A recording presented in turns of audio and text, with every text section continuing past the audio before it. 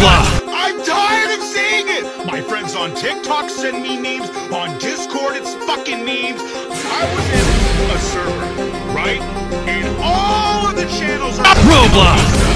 I, I showed my champion underwear to my girlfriend. In the logo, I flipped it and I said, Hey babe, with the underwear. I'm tired of seeing it!